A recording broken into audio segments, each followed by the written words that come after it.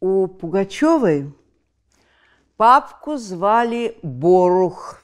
Борух. А она не холопка и не раба. Переименовала папку в Бориску. Бориска – славянское имя. Алла не Боруховна, а Алла Борисовна. А? Не раба и не холопка. Русской захотела быть. И такая же история у Лили Меджидовны.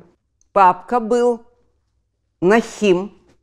Она взяла отчество Меджун своего отчима, чтобы не говорили про нее ничего.